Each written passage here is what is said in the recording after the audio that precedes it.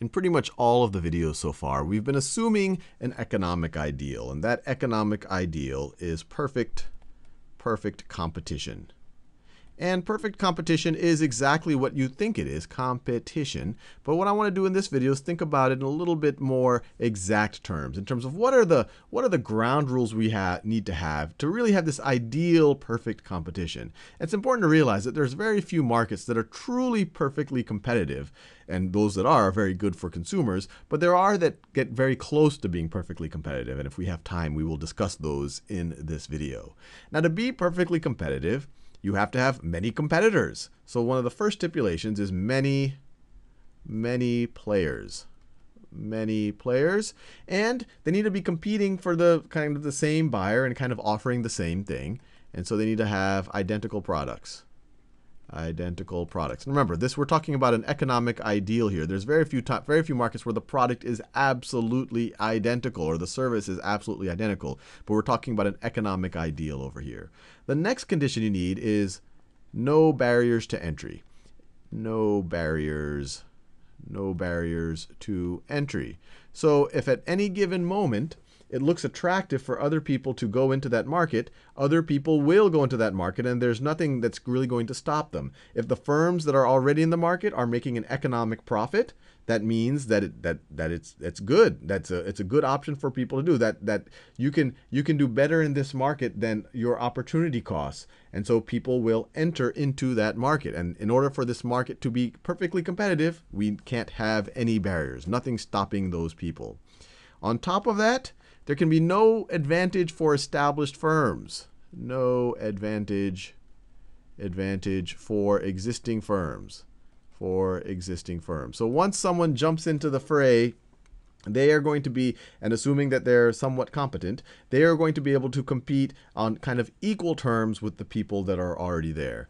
And then the last one, and this is important, this is important, is that you have to have really good price information, that the buyers and the sellers all have to know about each other's prices. The buyers need to know all the prices so that they can really do good comparison shopping, and the sellers need to know everyone's prices so that they can really match prices really well. So good, good price, price information. Now, there are many different types of markets that somewhat approximate perfect competition. There are very few that are completely, purely perfect competition. But one of them that does come to mind, one of them that does definitely come to mind, is the U.S. airline industry. And the U.S. airline, we can think about these different bullet points, how closely it matches it. There are definitely many different airlines. There are definitely many different airlines. They don't offer identical products. I am sure the airlines would take would not agree. They would say that they're differentiating on their service and what type of food they give, or I guess don't give to you, or how much they're charging for the the baggage check-in and all the rest. But for the most for most consumers, they're just like, look, I just want an economy class ticket from San Francisco to New York, and they view them as almost identical products. So the airline industry does does pretty well does pretty well on this first point. No barriers to entry? Well, there are some barriers to entry in the airline industry. You need a few billion dollars that you need to either uh, find or borrow or whatever so that you can buy the capital so you can start operating planes, or I guess you could let, rent the planes. But either way, you need a lot of capital to get into this business. You need access to airport terminals that you'll have to lease and, and landing rights and all the rest. So there are some barriers to entry. But for the most part, at least in the United States, if you are a U.S a U.S. Uh, uh, operator, and you know, th so there are some barriers to entry, especially for foreign operators. But if you are a U.S. operator and you have the capital, you will be able to be the next the next Virgin America or Southwest Airlines or JetBlue. So for them, there's some barriers to entry, but they're low. It's not like the government is saying that no one else can start a new airlines.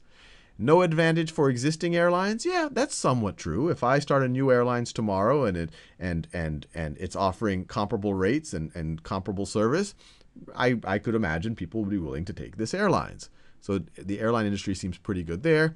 And good price information. And this is why the airline industry definitely came to my mind, because I can't imagine an industry where you have better price information that, at least now after the internet came about, than in the airline industry you want a flight from San Francisco to New York, you go to any of these travel sites, Orbitz, Kayak, Expedia, whatever you want to go to, and you get all of the flights listed for you and they're listed by price. They can sort them by price and you can actually pick, you know, you can, you can, and, and it's known that people do this. They pick uh, a, a flight that might be five or six hundred dollars, but they can compare based on a few pennies or even a few dollars. So there's extremely good, there is extremely good price information. And obviously the sellers have all of their IT systems. The airlines have all their IT systems to keep track of where airline prices are going as well. So the air, air travel industry, like most industries, it's not absolutely perfect competition, but it gets pretty close to perfect competition. And you even see that in the real world, is that it's very hard for the airlines to make really a lot of profit. And the really, and you know, whether you're talking about accounting profit or even economic profit. And you can see that when I've from this supply and demand curve right over here. So on this axis, the horizontal axis, this is the quantity. This is a measure of the quantity of kind of airline service.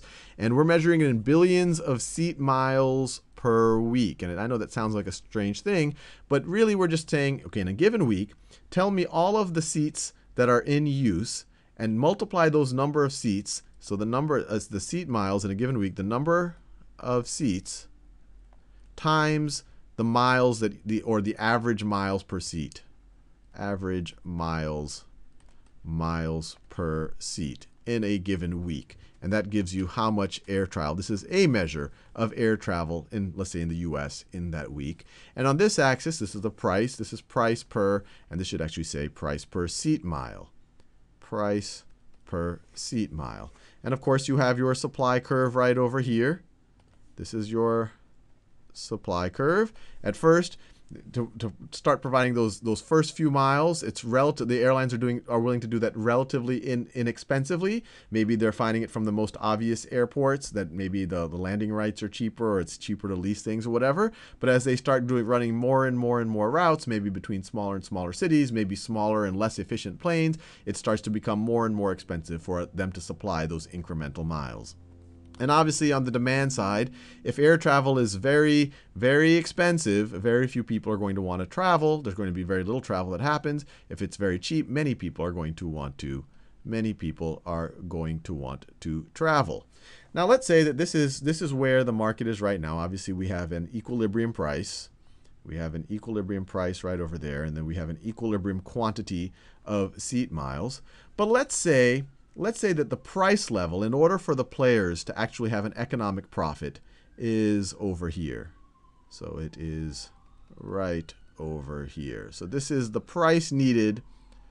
This is the price price needed for for zero economic profit or you could say for neutral economic profit or you could even say for normal profit for economic economic profit profit to be equal to zero.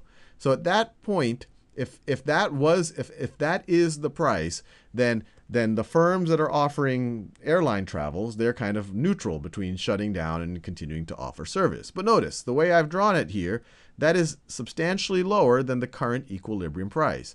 So what this is saying is since the current equilibrium price is a good bit higher than this, or it's just higher at all, these firms in the market right now are generating economic profit, definitely positive economic profit. So what's happening? If there's positive economic profit, that means that there's an incentive for other firms to add to, to enter into to enter into this industry. So what's going to happen is this is going to be the supply curve right at that moment, but as soon as another carrier realizes that they can, or any of the carriers realize they can offer uh, more, uh, and it doesn't even have to be new carriers entering, it could be existing carriers just offering, maybe buying more planes or offering more routes, then maybe a little bit later the supply curve shifts like this. The supply curve shifts like that, and then this would be our new equilibrium price. And, but we're still making economic profit because our new equilibrium price is still is still higher than the price needed for zero economic profit. So still more people will continue to enter. And so then you might have a new supply curve that looks like this. And now this is our new equilibrium price. And notice what's happening. We're traveling, uh, we're traveling down to the right along the demand curve. As, as more supply comes on, we're obviously increasing the quantity and the price is going down. But still, the equilibrium price is higher than, than this, this line right over here. So even more people will enter. Even more people will enter until we get to that point right over there. And at that point, now the equilibrium price is the price at which all of the players are having zero economic profit. and there's no incentive for more more people to enter into it because then the equilibrium price will go down or they're essentially right now economic profit is zero so everyone is neutral in this scenario so I want to leave you there. This is what happens with perfect competition. That there's there's no barriers to entry. More people go in and in and in. The price goes down. The quantity will go up in this scenario. But what I want to do in the next video is think about what if we didn't have perfect competition, and especially what happens if we have something like something like I don't know, something like a monopoly.